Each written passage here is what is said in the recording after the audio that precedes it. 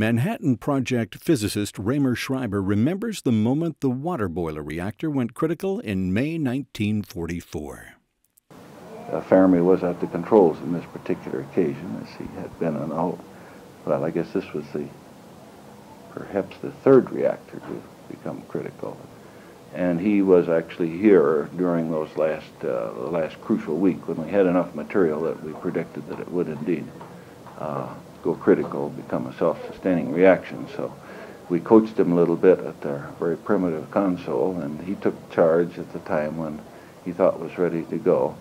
And uh, indeed, it, it did come up, and you could take away the neutron source, and the reaction continued and leveled off. And, uh, everybody felt very gratified because we had heard vaguely of the uh, chain reaction, and uh, but you hadn't experienced it, and uh, to see a thing really sitting there, uh, living under its own power.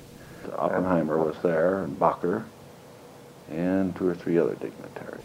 But he was quite confident. And those of us who had been watching this thing for weeks, living with it, uh, drew a sigh of relief when the pen rose and then leveled off. Schreiber recalled that everyone was jubilant after the reactor successfully achieved a self sustaining reaction.